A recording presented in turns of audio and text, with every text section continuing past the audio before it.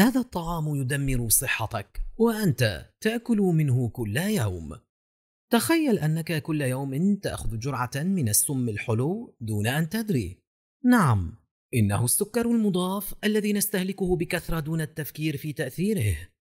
هل كنت تعلم أن الإفراط في استهلاك السكر لا يؤثر فقط على وزنك أو نسبة السكر في الدم بل يعتبر عدوا خفيا للكبد؟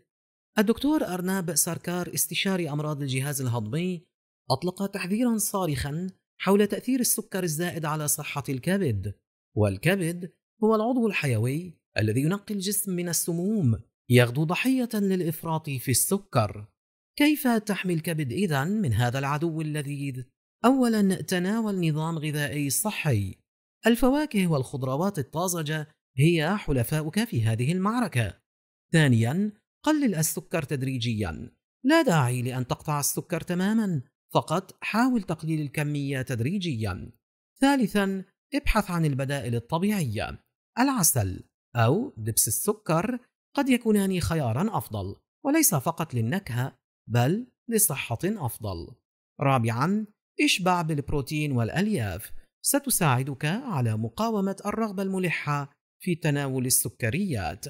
ولا تنسى تجنب المشروبات السكرية والعصائر المعلبة فهي مليئة بالسكر المضاف الذي قد لا تلاحظه حتى.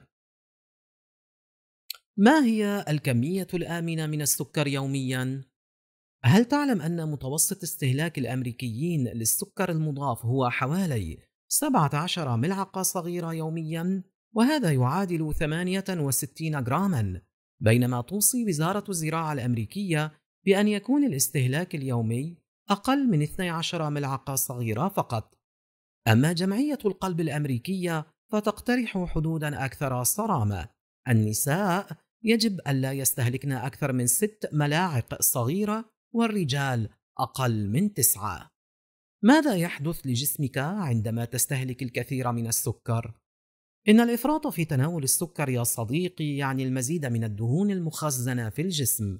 ومع زيادة الوزن يزداد خطر الإصابة بأمراض القلب السكري بل وحتى السرطان رغم أنك قد لا تتناول الحلوى كل يوم هناك سكر مضاف يختبئ في مشروباتك المفضلة مثل القهوة المنكهة أو حتى في بعض الأطعمة الصحية كالعصير الأخضر والزبادي هل ستبقى مستسلما لهذا العدو الحلو؟ حان الوقت لتدرك أن السكر ليس فقط مشكلة الوزن بل قد يكون هو الخطر الذي يدمرك دون أن تدري